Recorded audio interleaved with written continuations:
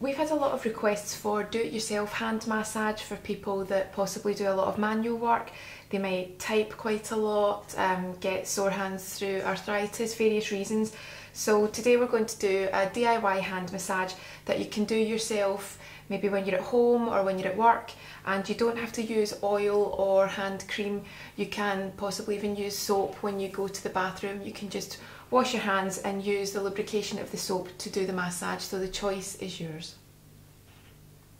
So all we've got is a little bit of fragrance free emollient and just to start rubbing it in between our hands and the effleurage that you do on yourself doesn't have to be up to your elbow you can just stick to your wrist but the choice again is yours but we're just going to do some effleurage up to the elbow over the front and back of the hand and arm swap over and just as when you work on someone else this is warming up the skin and muscles warming up the tissues and preparing your hands and arms for any future moves that you do. So just as when you're working on a client, you can use your thumbs and you can just work through the carpal bones or your wrist bones and you're just doing small circles and you might feel crunchiness, might even feel a bit achy. The main thing is don't push too hard but be quite firm and if anything feels very uncomfortable then stop because you shouldn't be creating any pain. So you can just take your time and it's basically two lumps, two bumps that you'll see there and they are your main carpal bones. So you can work on one hand, swap over, work on the other. And you can spend as much time as you like doing this, it's really how much time that you've got. So if you've only got two minutes, then do this very quickly. But if you've got 10 or 15, then take your time. Now you can also use your thumb just to work through the metacarpals and it's the spaces in between. So where your fingers are, it's the spaces in between these bones. So you're just feeling for the gap and just using your thumb and you can either do tiny circles or you can do like we do in reflexology we call that the wiggle walk where we're just allowing your thumb just to gently move along and again, the choice is yours. Again, if you get tension in the thumb area, in the thumb joint, you can use the thumb from the other hand just to ease off any tension in that area. And again, you can feel the muscle here. So it can be circles or it can be gentle also called a caterpillar walk, just moving along and easing off any tension. Once you've covered this area, you can take the thumb and just do circles over the fingers. If anyone gets pain in their joints here, this can be quite beneficial. You can also, again, work in various different ways. You can also just hook in with your opposite finger so it's the index and the middle finger and you're just very gently massaging each finger by manipulating along the edges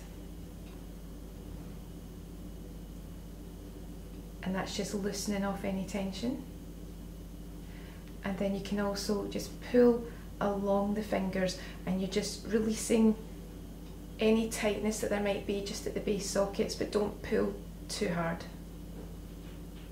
But again, this is quite a warming move, quite a loosening move. And sometimes people like to push back on the fingers, but it depends on your dexterity and if it's comfortable to do so. So, bit different with the thumb because it's a different style of socket. So, you're best not trying to manipulate the thumb because it doesn't naturally want to do that. So, by all means, you can work along it but you don't want to manipulate it in the same way that you would do with fingers. Once you've done one hand, you can just repeat the same on the other. Another really good move for when you're doing DIY hand massage at home is just to have your hands in a prayer hold and very gently manipulate your wrists. So backwards and forwards, left and right.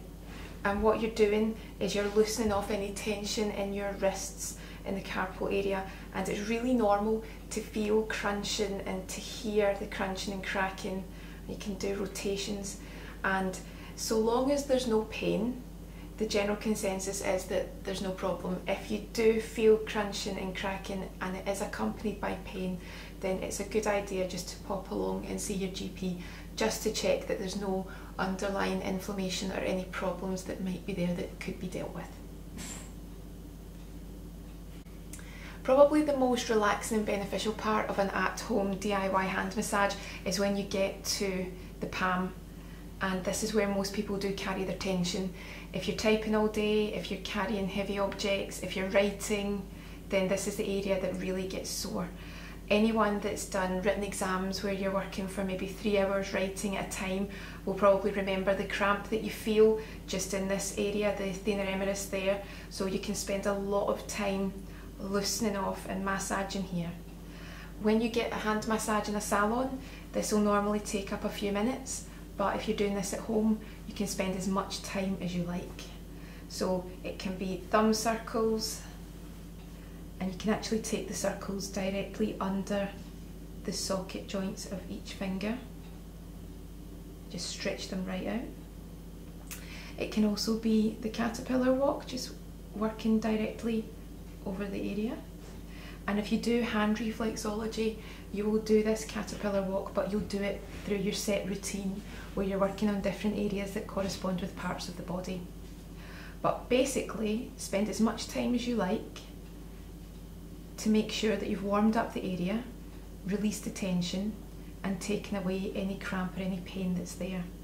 And then once you've done the other hand, you can just finish off by doing your effleurage once more. So you might decide that your effleurage finishes at the wrist, or you might decide that you're taking it up to the elbow. Once you're finished, if there's any residue of hand cream on, you might be happy just to leave it there to sink in, or you might just want to dab it off with a towel.